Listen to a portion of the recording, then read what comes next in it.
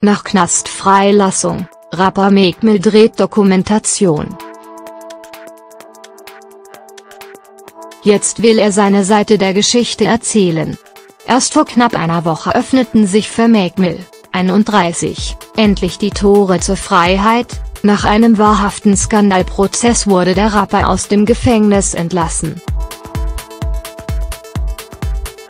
Sein Anwalt hatte während der Verhandlungen besonders die verantwortliche Richterin beschuldigt, den inhaftierten Musiker auf dem Kieker zu haben.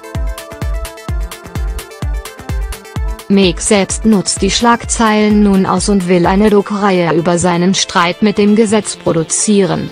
Dieser Streifen dürfte für ordentlich Furore sorgen, wie Rolling Stone nun berichtet, wird der Al-New-Interpret seine Erfahrungen mit der amerikanischen Justiz in einer sechsteiligen Dokumentation verarbeiten, die auf dem Streaming-Dienst Amazon Prime angeboten werden soll.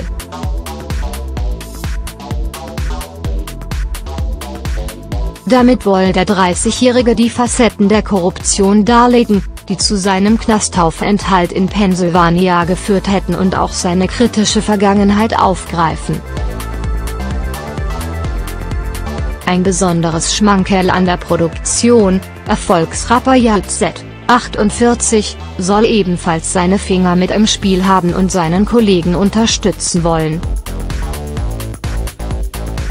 Dex von Nicki Minaj, 35, war im vergangenen November wegen Missachtung seiner Bewährungsauflagen nach einer illegalen Motorradtour zu zwei bis vier Jahren Haft verurteilt worden.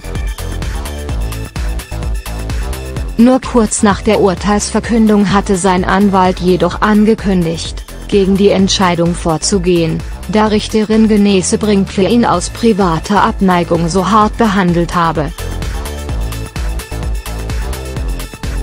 Gegen die Juristin ermittelt nun das FBI.